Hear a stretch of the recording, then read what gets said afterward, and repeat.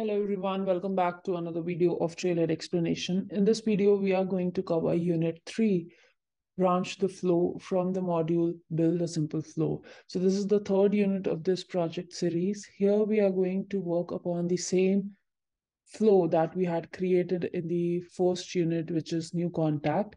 We will be going through this and we will be making certain updates in order to fulfill this unit's challenge. So let's quickly go to our flows uh, here and just open up the flow on which we have to work new contact. Now this will open up the flow builder. Now here till now what we have done is we have placed one screen component and there are input components that we have placed by the name name, account, which shows the account that we want to relate it to this contact, which we will be creating or updating. Then uh, there is this toggle button as well. So we'll see how uh, we can proceed further with this. This was the first screen component that we had placed. Moving on, next we were uh, getting the records to find a match of the uh, of the detail which we have input in the screen element. So uh, it if it all it finds the match, it will move ahead uh, the logic we are going to implement in this unit. And this basically is getting the records if there are any record present in the org by the same first name and last name that we are providing in the input screen form right? Now moving on, next what we have to do is we have to add one decision element where the label will be update or create. So let's first uh, create this. So click on this plus icon and if you scroll, there is this decision element. Just click on this. Label, I'm going to paste it. API name will be auto-updated. Now, the next thing that we have to do is we have to provide the label for the new outcome. So update existing is the label that we are going to use. So let's go there on a flow builder and label, I'm going to paste it over here. API name will be auto-populated. Now, there are certain conditions that we have to fulfill in order to check if we really want to update our record, uh, existing record. So let's go back there uh, on a challenge and let's see what all conditions that we have to add. So the first condition is update toggle dot value. We have to check if it is true and find a match is not null.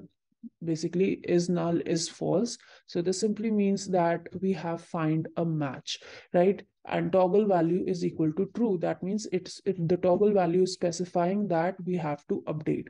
So let's go back there resource, go to resource. And here in the first unit, we had created this toggle, uh, toggle input component we had added on our screen, right? This is the same uh, variable uh, which specify the toggle. So I'll use this toggle dot value.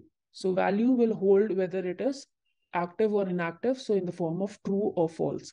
So if it is equal to true, that means I want to update this will specify that toggle is suggesting that it is, uh, it is checking for an update. So if it is true and we have found a match, that means an existing record is already there with the same name that we are providing in the on the screen flow input name component. Now here, what we have to add is contact from find a match here we have to check whether just find a match we have to use, right? So I'll again add this contact uh, from find a match just equals uh, is null. We have to use is null comp uh, uh, operator and is equal to false. That means we have found a match and it is going to update it. So uh, if these two conditions are met, then it is going to uh, proceed with the updating uh, decision. Now, default outcome, we have just uh, we have to just change the label over here by the name create new. So I'll go back there and paste this label in the label text area. So this is going to change it. So this one for update and this one is for new.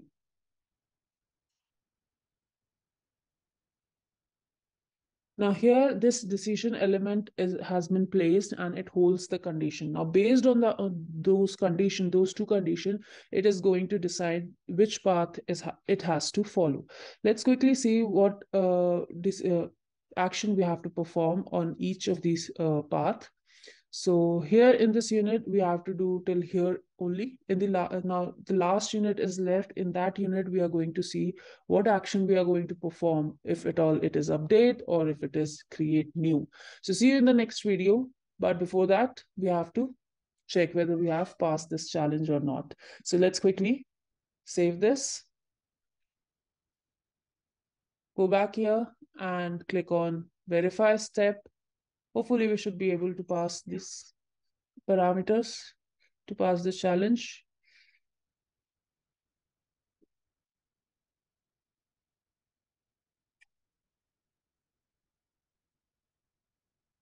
See you in the next video with another unit of this project. This uh, It will be the last unit.